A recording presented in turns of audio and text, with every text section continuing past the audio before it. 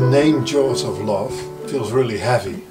That was that was like a lyric I was trying out for for a different song uh, many years ago, and then I ended up writing a whole song to that just one phrase jaws of love and that's the first track on the album also called jaws of love and i just loved that imagery so much and it felt so right with the tone of all the music that i just wanted to call the whole project that um, but i just i love the idea of love being merciful. Mm-hmm.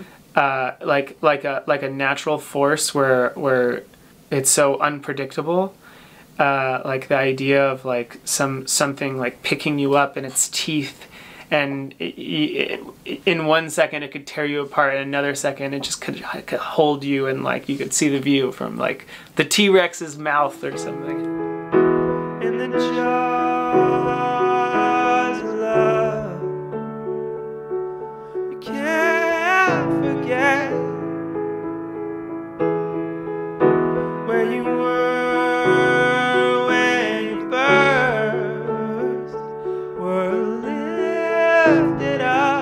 lot of the record about my relationship with my wife, where um, I, I love love songs where they're more tortuous and breakup songs and that stuff where you kind of in the muck. The the really happy love songs uh, that I think are so hard to write uh, that a lot of you hear a lot in pop music or they just whenever I've tried to write them they've come off just like super cheesy uh, so somehow, from being in the relationship with me and my wife, um, which I feel like is a very strong, really amazing relationship, I'm very lucky to be in. Um, there was a lot of middle ground. There was a lot of um, in between the highs and lows of love that I think I was sifting through and thinking a lot about, which kind of came to the surface on this album.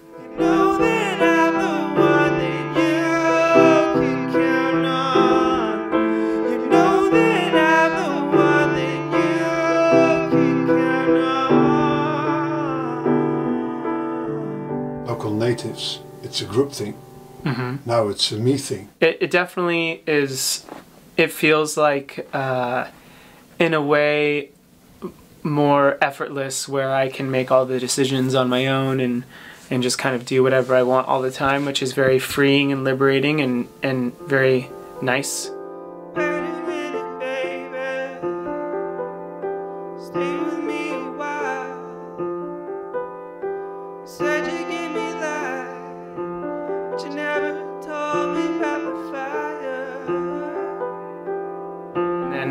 On the other hand, I'm doing all the work and I'm uh, anything that happens, like good or bad, is celebrated or uh, feels devastating only by me.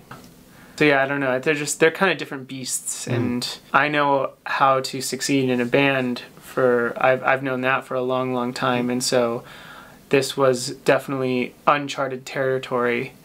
Putting this record out and trying to do stuff on my own, and um, so far I think it's uh, it's gone pretty well. I'm, I'm I've been really happy with it. Your love, your love, your love, your love is all I need when I can face the actions of the world. I don't believe your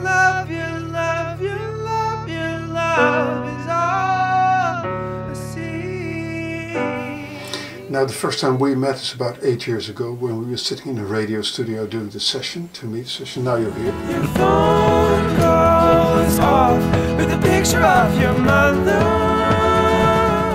Now, what has been the biggest achievement over the past eight years for you?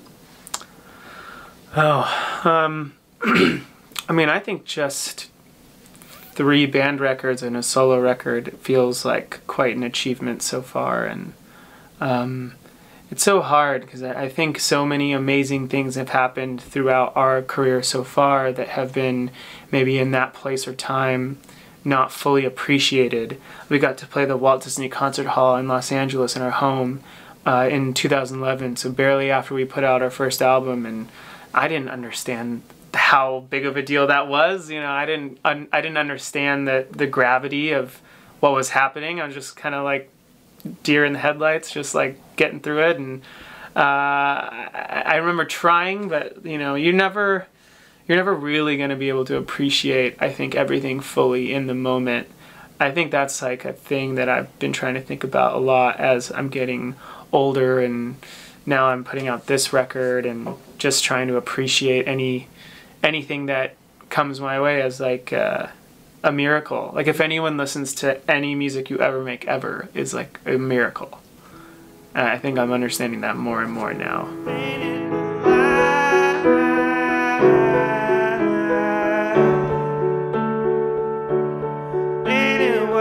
you